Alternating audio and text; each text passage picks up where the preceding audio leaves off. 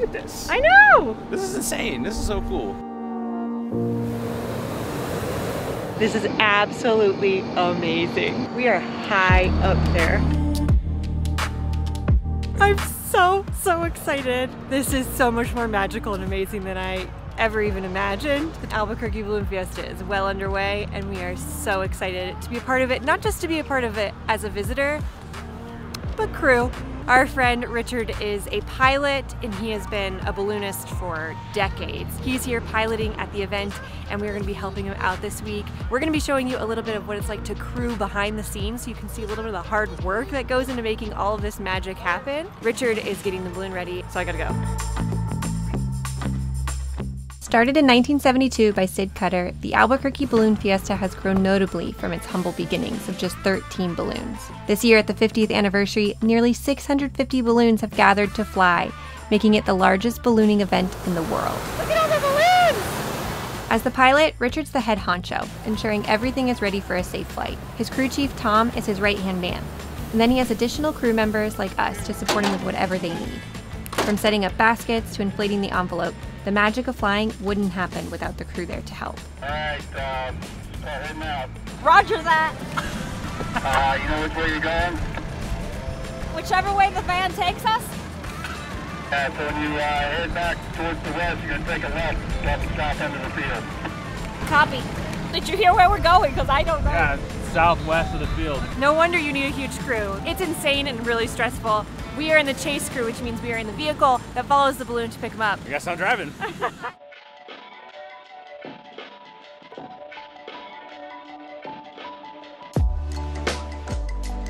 Richard definitely described it best. It's a whole lot of hurry up and wait.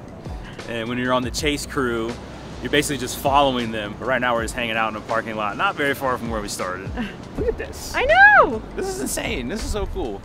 When you're flying, the pilot is constantly on the lookout for a flat open space for landing, based on the wind speed and direction the balloon is going. You want to get in the right-hand lane, you can be turning right up over the, over the bridge. Our job is to follow along, meeting the pilot there before landing. Because once the balloon goes down, everything happens extremely quickly. Come on down and get out, hurry up.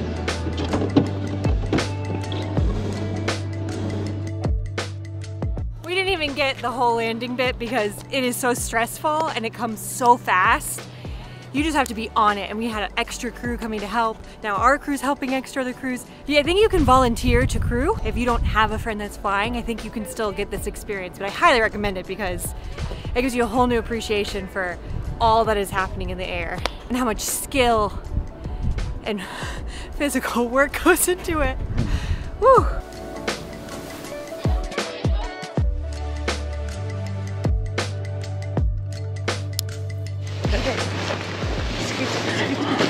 Right, okay, all right. Break. Man, this will keep you young, that's for sure.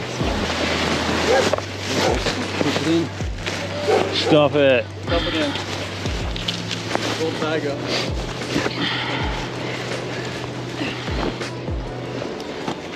This is the old way to do it. Oh, I'm getting lightheaded. I need some food. Yeah.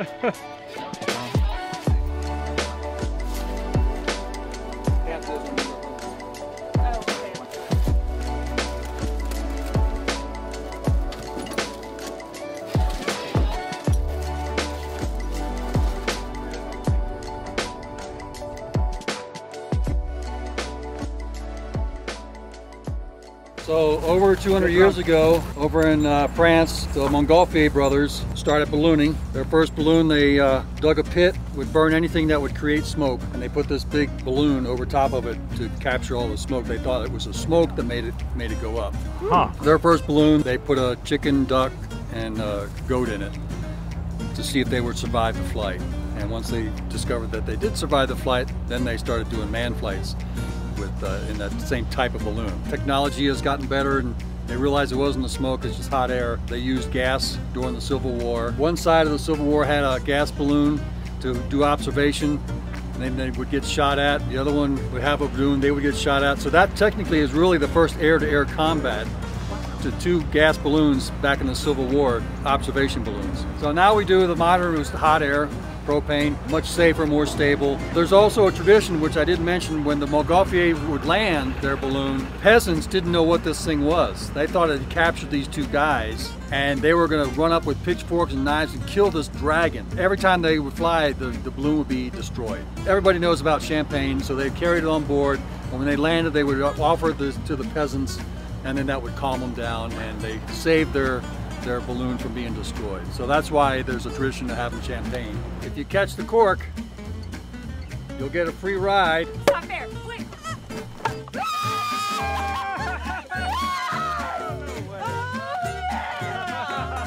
Free ride back to your hotel. Oh! I should have let you finish the free ride story.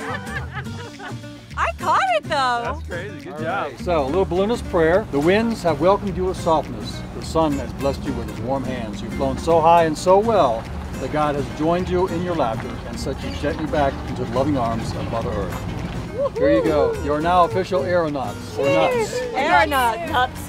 Nuts. Dennis. Thank you. We're getting a breakfast burrito because we're in a holding pattern for the balloons this morning. And apparently this is a thing that you have to do at the balloon festival. Breakfast burrito with green chilies. Bacon, eggs, and green chilies. I think that's it. I don't know if there's anything else. Hash browns. It's hash browns also. Yeah. A ton of stuff. About to find out.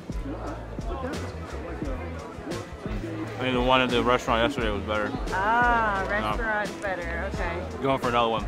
We're gonna try Perico's. Not even done with this one. I'm already trying to figure out what I want to order next. This one has a tamale breakfast burrito, which sounds banging, but I don't know. Should I just go traditional?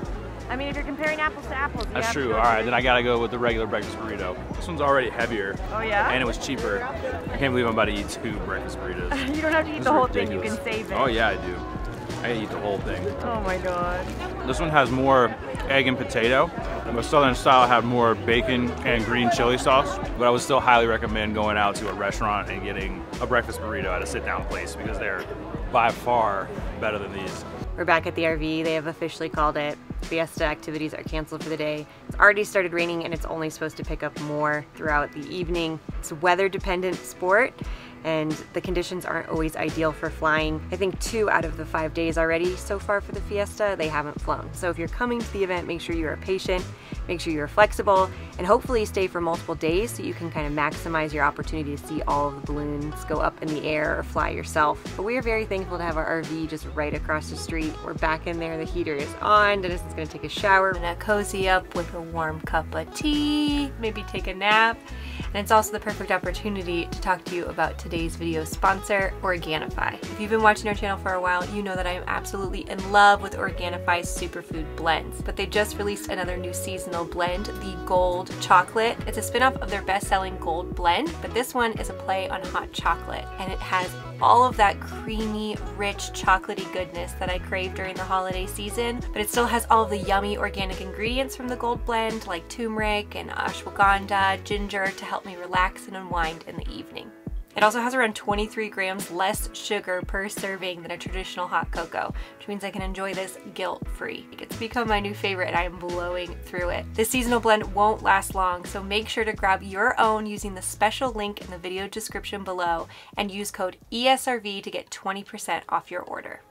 Oh yeah, we're gonna get to fly today. The wake up calls are super early. We've been waking up at 4.30 every morning and our friends have been waking up even earlier because they have to drive here. We're walking right now. Because we missed the bus We at the missed the station. shuttle. Ugh. But hopefully the shuttle will pass us and then we can hop on. It's about a 20 minute walk from the south RV lot and there are RV lots that are closer. But, Well, they're much more expensive, right? Well, and there's just hard to get to. I mean, we just gotta, limited spots. The South Yeah. RV lot is huge.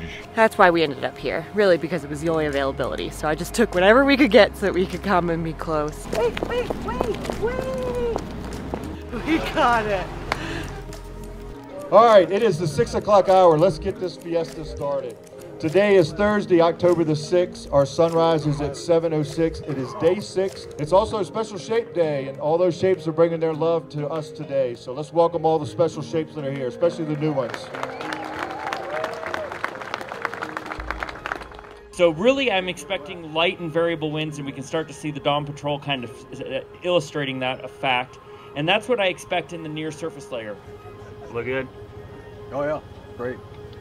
We're gonna do what those balloons are doing. They're flying already. Going to the west. Oh, okay.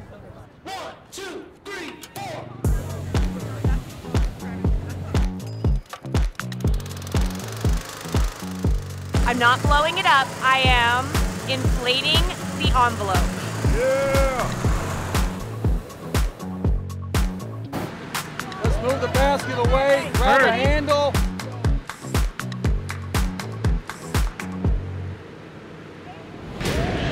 So excited. This is amazing.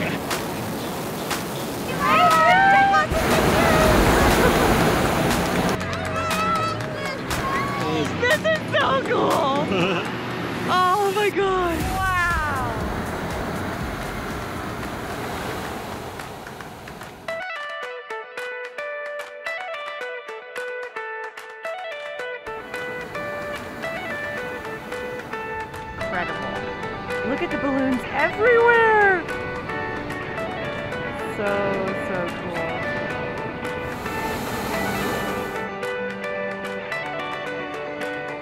This is absolutely amazing. We were on the surface. We were heading this way, towards the east southeast. We went up about 1,300 feet, caught a wind that took us to the north. Now we're coming back down to catch that southeast wind again. So up, down, we're gonna be heading back towards that direction. There really is nothing like flying with hundreds of balloons. This is absolutely incredible. Bucket list is like not even an accurate word, no matter how much work it takes to get here, do this. It's also so cool to see all the different shapes of the balloons. There's so many more balloons out than the first day we flew. And because today's special shapes day, some really, really fun ones out there. Oh, there's a fish. He's cute.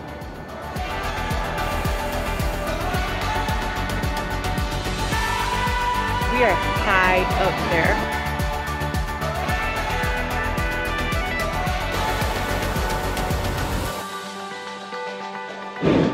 Go ahead, Chase. Can you uh, pull out into the field and kind of let me know what it looks like? I like it better.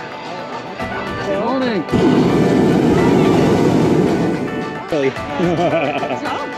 Wow.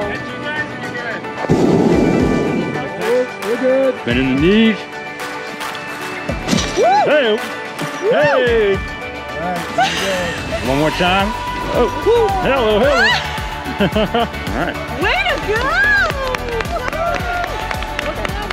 Not bad for my first time. Ah. Now, hi, buddy. That was sick.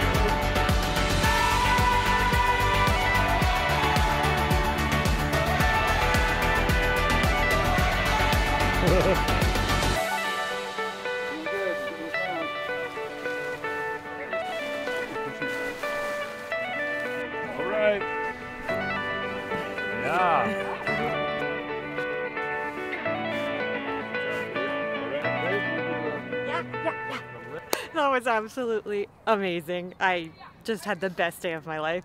Morning of my life. It's only been like day. I think it's 8:30 a.m.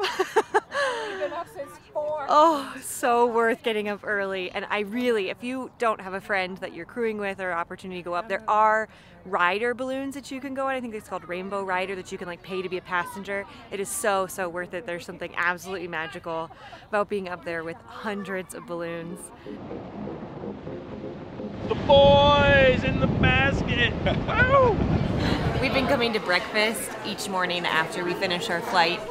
It's a nice way to kind of round off the day. It's only like 10 o'clock when we're finished anyways. Or we've gone to a bunch of different restaurants, but the shop looks incredible. Gravy? We got chorizo, biscuits and gravy, and we got an adobada eggs benedict. Their burrito looks good. They have blue cornmeal pancakes. I mean, come on guys. That thing. You Really gonna eat all that? You betcha.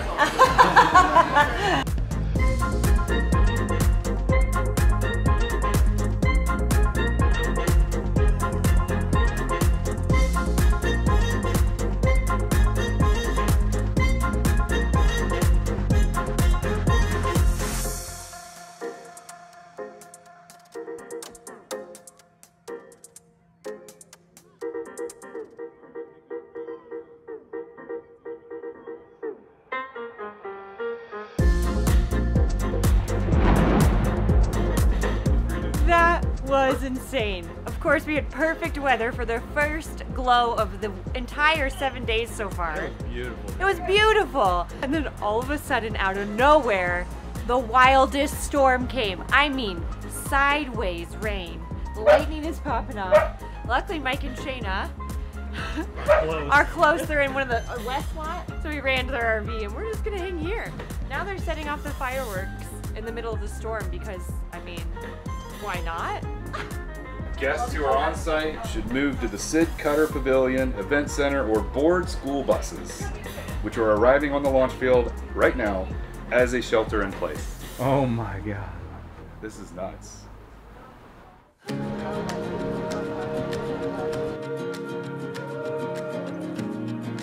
Every day is a new experience. Be the, the most beautiful weather day we've had. I think so. I think so. I mean, it's just perfect.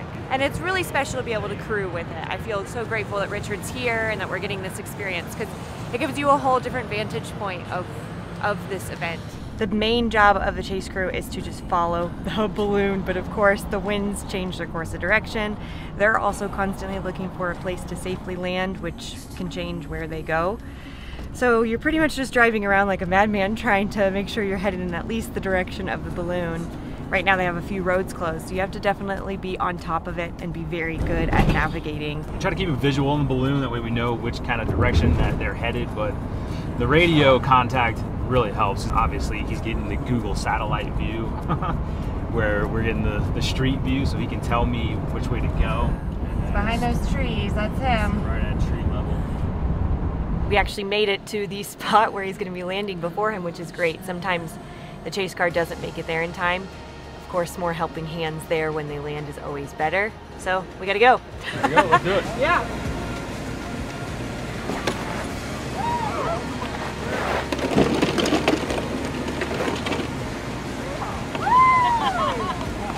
They're down. It was a perfect landing.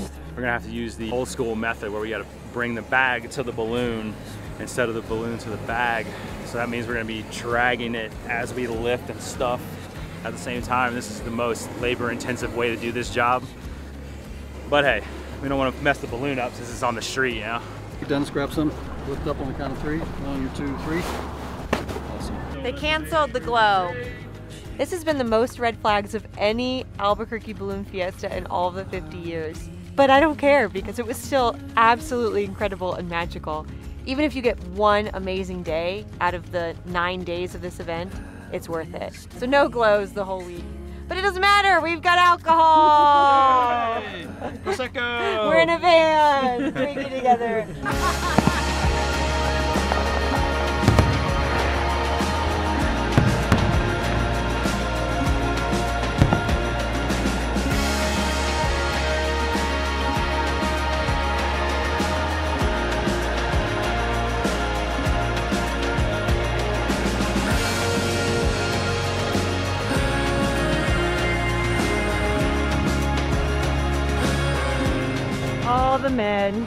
doing their work, Doing what we do good at. Sitting around. doing what we do What best. Good, best at? Okay. Did you get camera hey. I can butcher any language.